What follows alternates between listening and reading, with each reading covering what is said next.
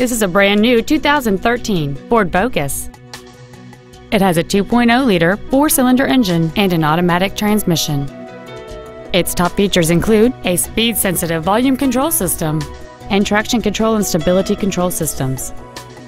The following features are also included a low tire pressure indicator, air conditioning, full power accessories, a CD player, a security system, halogen headlights, an anti-lock braking system, dual airbags, a rear folding seat, and an auxiliary power outlet.